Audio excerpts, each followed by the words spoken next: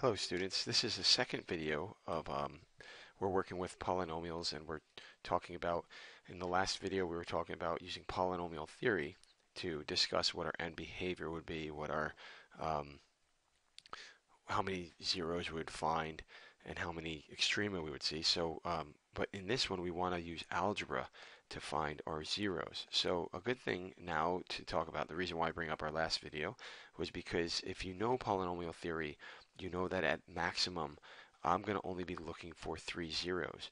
Um, and that's because uh, my degree is 3 on this polynomial. So, uh, using algebra, we're going to attempt to find the three zeros for this function. And, uh, you know, so what we do is we basically set the function equal to 0. And remember, anytime you're dealing with a higher order polynomial, you always move all the terms over to one side it's not a linear function, and you usually solve it through uh, something to do with factoring. And um, so here I'll take out uh, I'll take out my greatest common factor. So I take x out, and I have x squared minus x minus 6. And I'm going to now factor the trinomial, and that's going to be x minus 3x plus 2. And now, when I set these three linear terms equal to 0, I have three separate equations to solve, which are easy equations, but you should realize that we are solving three separate linear equations. Let me just write this down correctly.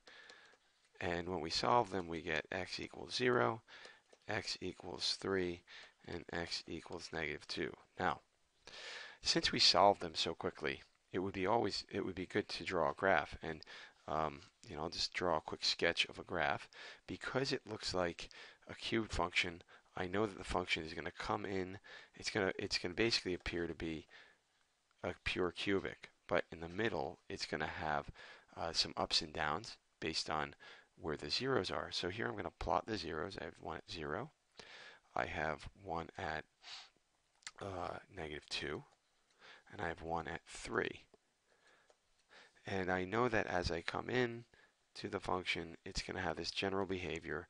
I'm going to have two extreme values eh, because polynomial theory dictates that if the order is 3, I will have at maximum uh, two extreme values and I will have three zeros. So hopefully this video has helped you understand how we use algebra to find the zeros if the function can be solved algebraically. And then I just plotted the picture to show you what it would look like. So hope uh, this video helps and I look forward to hearing your comments.